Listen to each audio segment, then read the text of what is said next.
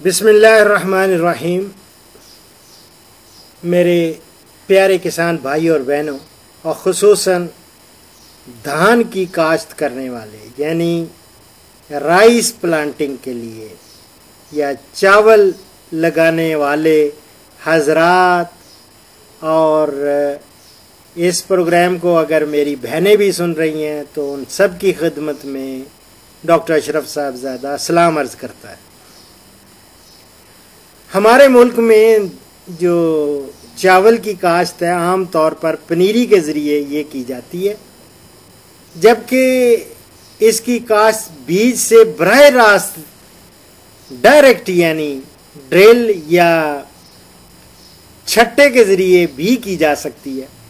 और बहुत सारे दूसरे ऐसे कंट्रीज़ हैं जहाँ इसकी काश्त के कुल रकबा का तकरीबन 30 परसेंट, यानी 30 फ़ीसद बीज से बराह बराह रास्त ये किया जाता है। और हमारे मुल्क में प्रोग्रेसिव जो फार्मर्स हैं, उन का पनीरी की मुंतकली के ज़रिए धान की अच्छी पैदावार वो भी हासिल कर रहे हैं। लेकिन मज़दूरों की कमी की वजह से लेबर महँगी हो रही है और जबकि मज़दूर खेत में वैसे भी इनकी जो मतलूबा तादाद है, जो रिक्वायर्ड पॉपुलेशन है, वो है अस्सी हज़ार कम अज़ कम पौधे लगने चाहिए। उससे कम नहीं पौधे होने चाहिए तो वो भी नहीं लगा पाते।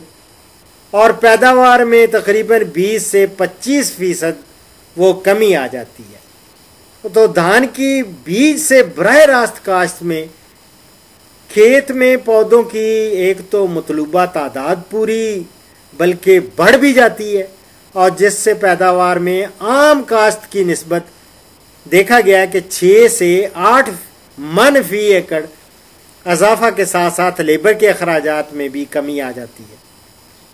हमारा एक तहकीकी अदारा है, कालाशाह काकू में rice research institute. Kala Shah Kaku, ये सरगोद गुजरावाला में। गुजरावाला या ये शेखुपुरा, जो लाहौर के रास्ते में जाए ना तो लाहौर से पहले कालाशाह काकू आता है। इसमें वहाँ बीज से बरह रास्त काश्त के फ़रोग के लिए कई सालों से वो तजर्बात कर रहे हैं और धान की ये टेक्नोलॉजी, मशीनी और रवायती काश्त की नस्बत काफ़ी सस्ती है। ये उनका बकौल। और जबकि थोड़े वक्त में, ज़्यादा से ज़्यादा रकबा में काश्त किया जा सकता है और पानी की भी पंद्रह से बीस फ़ीसद तक बचत की जा सकती है। क्योंकि हमने देखा है कि कद्दू वाली ज़मीन की नस्बत बीज से बर रास्त काश्त से धान की फ़सल की कटाई के बाद ज़मीन आसानी से तैयार हो जाती है, जिससे गंदम की बर वक्त काश्त हो सकती है। ये बहुत बड़ा प्लस पॉइंट है इसका। अब इसके लिए आप कहेंगे कि ज़मीन की तैयारी कैसे करनी है? इस तरीक़ा में ये जो डायरेक्ट सोइंग है, धान की बजरिया बर रास्त बीज, इस तरीक़ा में ज़मीन की अच्छी तरह तैयारी बहुत अहम है। खसूस ज़मीन की हमवारी बहुत ज़रूरी है, क्योंकि इससे फ़सल का आगाव और पानी का इंतज़ाम बेहतर तौर पर मुमकिन है। और अगर लेज़र लेवलिंग से आप करेंगे ना तो बहुत ज़बरदस्त होगा। लेवल्ड ले होना चाहिए फ़ील्ड हमवार होना चाहिए। इससे फ़सल का उगाव और पानी का इंतज़ाम बेहतर तौर पर मुमकिन है। और ज़मीन की अच्छी तैयारी के लिए मई के तीसरे हफ़्ते में दो मरतबा खुश्क हल चलाकर और करा लगाकर ज़मीन हमवार करने के बाद खेत को पानी लगा दें। और वत्तर आने पर आप खेत को तैयार करें। इसके लिए आप पूछेंगे कि मोस्ट मौजू फ़सलें, यानी किस्में कौन सी हैं?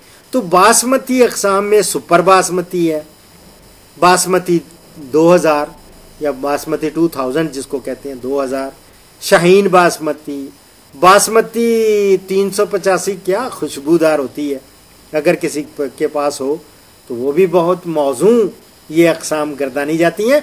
और जबकि मोटी अकसाम में के एस के एक सौ तैतीस के एस के एक सौ तैतीस, और के एस दो सौ बयासी, और इरी सिक्स इरी छे जो, जिसको कहते हैं, ये मौजू अकसाम। और अब आप कहेंगे कि शरा बीज इनकी कितनी होनी चाहिए। मोटी अकसाम के लिए 18 किलोग्राम और बासमती अकसाम 15 किलोग्राम बीज फ़ी एकड़ इस्तेमाल करें। खुश्क बीज को काश से पहले पहले तो याद रखें इसको, फंजे साइड या फफूंदी कुछ दवा होती है, टॉपसन, एम टॉपसन, एम है, बेनलेट है या डेरोसाल है। इस, ये जो है ना, कोई भी इनमें से मिल जाए, टॉपसन एम मिल जाए या बेनलेट आम मिल जाती है, डेरोसाल भी मिल जाती है।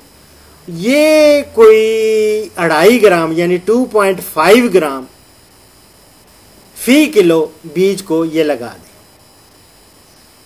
और इनको इसको लगाएँ और ड्रिल करें या जहरीले पानी में कोई आप सवा लीटर पानी ले लें। फ़ी किलो बीज के लिए ना, सवा लीटर, एक 1.25 लीटर पानी ले लें। एक एक किलो बीज के लिए। उनको 24 घंटे भिगोने के बाद चंद घंटे आप खुश कर लें और छट्टा कर। और मोटी अकसाम के लिए गंद काश्त का बेहतरीन वक्त कौन सा है? वो है 20 मई से 7 जून तक। 20 मई से 7 जून। नोट कर लें मेरी जान, नोट कर लें। मोटी अकसाम के लिए काश्त का बेहतरीन वक्त जो है 20 मई से 7 जून। आज है 26 मई। 26 मई 2014 को ये प्रोग्राम रिकॉर्ड कर रहा हूँ। खसूस एक कॉलर की फरमाइश पे, जिनसे मेरे यूट्यूब पे प्रोग्राम नहीं खुल रहा था, और उन्होंने कहा कि ये डेली मोशन पे आप कर लें। तो बासमती अकसाम के लिए यकम जून से पंद्रह जून। बासमती अकसाम यकम जून से पंद्रह जून। प्लीज़ नोट फरमा लें। ये बेहतरीन वक्त है इसकी काश्त का। अब रहा कि जी बरह रास्त तरीका काश्त क्या है? वत्तर ज़मीन में बजरिया ड्रिल काश्त करें। वो है खुश्क बीज को आप पहले फफूंदी कुछ जहर लगाने के बाद वत्तर ज़मीन में ड्रिल करें। यानी खाद और बीज को एक साथ भी आप ड्रिल कर सकते हैं। लेकिन इस बात का ख्याल रखें कि लाइन से लाइन का फासला जो है नौ इंच हो और बीज डेढ़ इंच से ज़्यादा गहरा ना जाए। बहुत ज़्यादा नीचे चला जाएगा ना तो वो ग्रो करके, उग के ऊपर आना उसका मुश्किल होता है। और जब बीज से शगुफे ज़मीन से बाहर निकल आए तो फिर तर वत्रों का पानी एक माह तक लगाते रहे और तार वतरों का। यानी कि बहुत ज़्यादा पानी तार वतर वाला पानी आपने लगाना है, एक महीने तक आपने लगाने, लगाते रहना है। तो फिर तार वतरों का पानी, एक महीने तक लगाने के बाद में वतरों का पानी, आम जो वत्तर वाला होता है, वतरों का पानी वो लगाएँ। खेत में ड्रिल चलाते वक्त मशीन से बीज गिराने वाले पाइपों को देखते रहना चाहिए। कहीं कोई पोर देखना है कि मिट्टी के फंसने की वजह से बाँध तो नहीं हो गया? और मुनासिब बीज ज़मीन में गिर रहा है। एक दो चक्कर मुकम्मल करने के बाद ड्रिल मशीन को उठाकर सारे पोरों को चेक करते रहना, वो बहुत ज़रूरी है। ये नहायत ज़रूरी है, नोट कर लें, ताकि कोई पोर बंद ना हो। अगर खेत में कोई सियाड़ बीज के बगैर हो तो हाथ से बीज गिराकर आप मिट्टी से डांप दें। जहाँ वो कहते हैं ना, पाड़ा पड़ पड़ गया। वहाँ अगर देखते हैं, पाड़ा पड़ गया है, वहाँ नहीं बीज गिरा तो वहाँ आप हाथ से गिरा के तो वो आप उसको मिट्टी से उसको ऊपर से डांप दें। और 24 घंटे भिगोए बीज की वत्तर ज़मीन में बजरिया छट्टा कैसे काश्त किया जाता है? ये दो तरीके हैं ना। एक, ये पहला मैंने बताया जो कि वत्तर ज़मीन में बजरिया ड्रिल कास्ट करना, जिसको मैंने आपको ड्रिल मशीन के साथ। अब है 24 घंटे भिगोए हुए बीज की, वत्तर ज़मीन में छट्टा कैसे करना है आपने? ब्रॉडकास्ट कैसे करना है? पानी में फूंदी कुछ दवाई हल करके, इसमें 24 घंटे के लिए बीज को भिगोने के बाद खुश कर लें और तार वत्तर वाली ज़मीन में हल चलाने और ज़मीन को तैयार करने के बाद छट्टा करके ऊपर से सुहागा कर दें। प्लैंकिंग कर दें। जब शगुफे ज़मीन से बाहर निकल आए तो हल्का सा पानी लगा दें। इसके बाद वतरों वाला पानी जो है ना, वो लगाते रहें। और आप मुझे कहेंगे, डॉक्टर साहब, एहतियाती कौन सी करनी चाहिए कास्ट के वक्त? भाई बाबा, नोट कर लो खुदा के लिए कि ड्रिल के ज़रिए कास्ट के दौरान बीज डेढ़ इंच से ज़्यादा गहरा नहीं जाने चाहिए। और दूसरे नंबर पे ये याद रखें कि पाँच से सात दिन में बीज उग आएगा अगर बीज का उगाव कम हो तो खेत ज़्यादा खुश्क होने की सूरत में हल्का सा पानी लगा दें।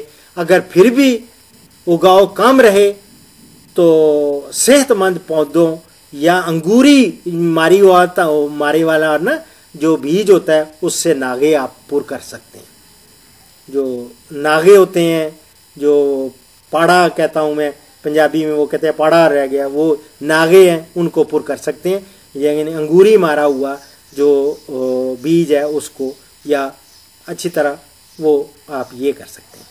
और तीसरी पॉइंट एहतियात जो है, वो ये है कि ड्रिल या छट्टा के ज़रिए काश्त या सुबह करें, या शाम को करें। सुबह या शाम के वक्त ये करें और बीज चावल के बीज से बर रास्त काश्त में चूँकि तीन गुना ज़्यादा बीज फ़ी एकड़ इस्तेमाल होता है, इसलिए उगने वाली इब्तदाई पौधों की तादाद कद्दू की हुई जो फ़सल है उससे बहुत ज़्यादा होती है। और कद्दू की हुई और मुसलसल पानी खड़ा रहने वाली फ़सल के पौधे निस्बतन ज़्यादा शगुफे निकालते हैं। और जबकि पैदावार के लिहाज से ज़्यादा मुनासिब नहीं होते, जबकि बर रास्त काश्त में ये जो डायरेक्ट करते हैं, चूँकि इब्तदाई पौधों की तादाद ज़्यादा होती है और फिर एक पौधे से चार पाँच, चार से लेके पाँच शाखें बनती हैं। टिलर्स हम उनको कहते हैं, जो पैदावार में इजाफा का सबब बनते हैं। और इस तरह आप ये आप देखेंगे कि ब्रश रास्त काश्त और आम तरीका काश्त का पौधे की शाखों और पैदावार जो है फ़ी एकड़ सुबर बासमती का आ, वो अगर हम मुआजना करें ना तो अगर फ़ी मुरबा मीटर ये मैं उन तालब इलमों के लिए कह रहा हूँ कि ये जो स्टडी कर रहे होते हैं वो अगर देखेंगे कि पौधे फ़ी मुरबा मीटर एक मुरबा मीटर यानी एक एक मीटर इधर एक मीटर एक मीटर एक मुरबा मीटर के अंदर 24 घंटे भिगोए बीज की वत्तर ज़मीन में ड्रिल कास्ट करेंगे तो 115 पौधे वो देखेंगे। और और शाखें उसकी, वो तकरीबन फ़ी मरबा मीटर को तीन सौ चौरानवे हमारे साइंसदानों की जो स्टडी करते हैं ना, वो देखते हैं कि तीन सौ चौरानवे शाखें उसकी निकलती हैं। और पैदावार फ़ी एकड़ उसकी होती है, को फोर्टी थ्री मन फ़ी एकड़ पैदावार हासिल की जाती है जो 24 घंटे भिगोए हुए बीज की वतर ज़मीन में ड्रिल का ड्रिल के ज़रिए। 43 किलो 43 मांड यानी 43 मन फ़ी एकड़ पैदावार वो, वो हासिल की। तजर्बात की रोशनी में बात कर रहा हूँ। और जो 24 घंटे भीगे हुए बीज की वतर ज़मीन में छट्टा के ज़रिए काश्त की उसमें जो पौधे हैं ना उनकी तादाद जब देखी फ़ी मुरबा मीटर तो वो 115 की बजाय 112 थी। और एक और शाखों की तादाद फ़ी मुरबा मीटर को तीन सौ उनासी, थ्री सेवेंटी नाइन।